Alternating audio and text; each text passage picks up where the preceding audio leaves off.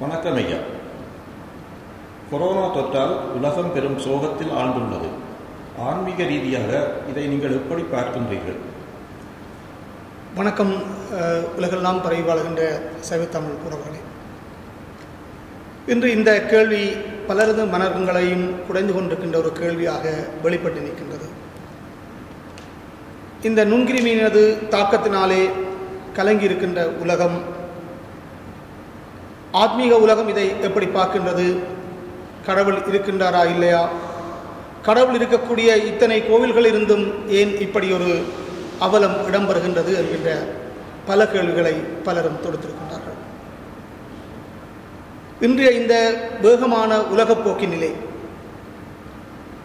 இப்பொழுது இடம்பெற்றிருக்கின்ற இந்த அவல நிலை உலக மக்களுக்கு மிகவும் மிகவும் ஒரு வேதனையான இக்கட்டான ஒரு சூழலாக அமைந்திருக்கின்றது. ஆத்மீக ரீதியாக பார்ப்பதாக இருந்தால் படைத்தல் காத்தல் அழித்தல் அருளல் மறைத்தல் என்கின்ற ஐந்து தொழில்களையும் செய்பவனாகவே இறைவன் இருக்கின்றான். எவன் இந்த உலகத்தினை படைத்து காக்கின்றானோ அவனே அதை அழித்து மறைத்து அருள் செய்கின்றவனாகவும் விளங்குகின்றான். எங்களது கண்களாலே காண முடியாத பல விடயங்கள் இங்கே பொதிந்திருக்கின்றது. இன்று யந்திரமயமாக ஓடிக்கொண்டிருக்கின்ற இந்த உலகப்போக்கில் பணத்தாலே அனைத்தையும் சாதித்து விடலாம். ஆயுத பலத்தாலே அனைத்தையும் சாதித்து விடலாம். பொறியியல் விஞ்ஞானங்களாலே கடவுளையும் வென்றுவிடலாம் என்று மனிதன் தலை தூக்கிய காலம் இது. மூன்று நிமிடங்களுக்கு ஓர் விமானம் வந்திறங்குகின்ற விமான தளங்களாக உலகம் மாறியது. ஒரு மாதத்தில் ஒன்றரை தொன்னுக்கும் அதிகமான குப்பைகளை சேர்க்கின்ற கேளிக்கை இடங்களாக பல தீவுகள் மாறின. மனிதன் உணவின் நாகரிகம் என்கின்ற பெயரில் முடிந்தவரை அனைத்து உயிர்களையும் துன்புறுத்தி உண்ண கற்றுக்கொண்டான்.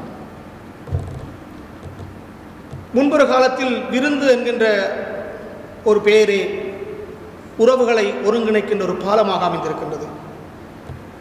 எமது தாயகத்தில் முன்னொரு காலத்தில் வீட்டில் இடம்பெறுகின்ற சிறப்பு நிகழ்வுகளில் விருந்து என்று சொன்னால் மாமன் மச்சான் அண்ணன் தம்பி என்று ஒவ்வொருவரையும் ஒவ்வொருவரையும் உறவு கூறி உனக்கு என்ன வேண்டும் ஏது வேண்டும் என்று கேட்டு பரிமாறுகின்ற ஒரு காலம் இருந்தது.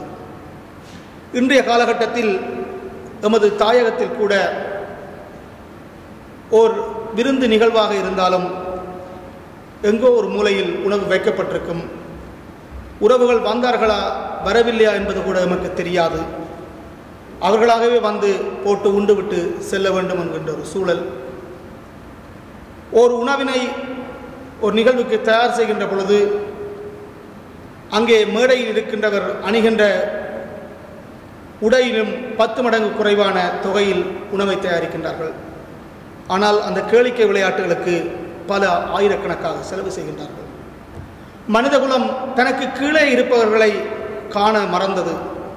தனக்கு மேலே இருப்பவன் என்ன செய்கின்றானோ அதை தாண்டி தான் இன்னும் என்ன செய்யலாம் என்பதில் ஓடித்திரிந்தோம் குறிப்பாக ஈழத்தமிழர்களாகிய நாம் இதுபோன்ற வழிகள் ஒன்றும் எமக்கு புதிதல்ல.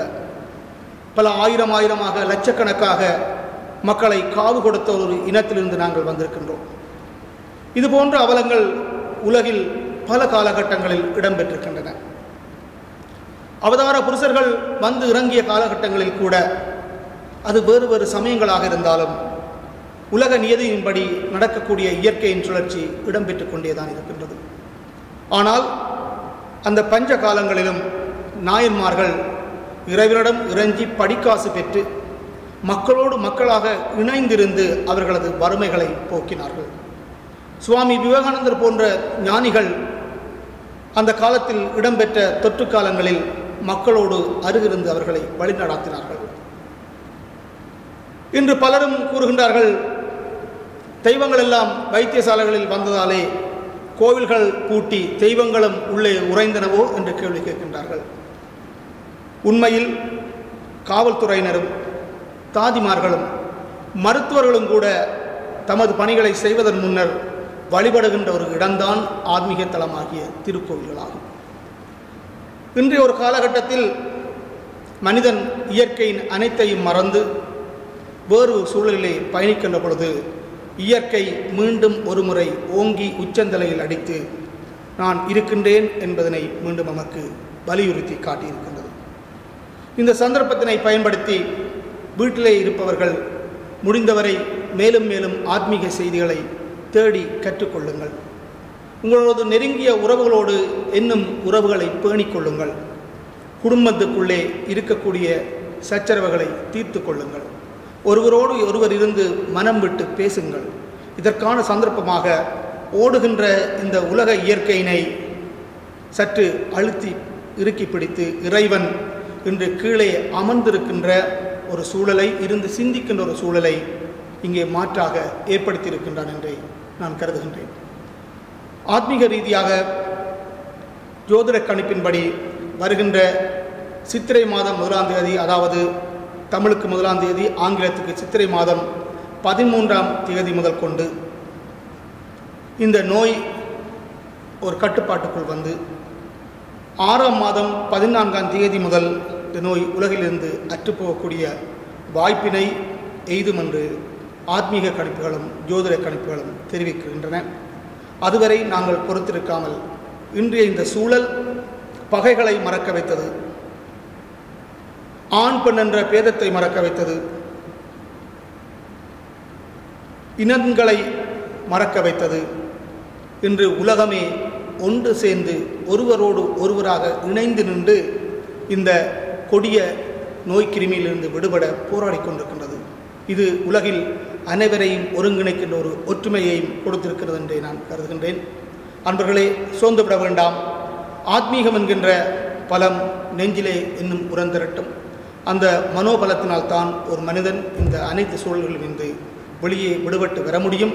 அதற்கு அடித்தளமாக சைவ சமய நெறியிலே இருக்கக்கூடிய யோகம் தியானம் மூச்சு பயிற்சி போன்ற பயிற்சிகளில் ஈடுபடுங்கள். நிச்சயமாக இந்த அழுத்தத்திலிருந்து நாங்கள் வெளியே வருவோம் வெல்வோம்.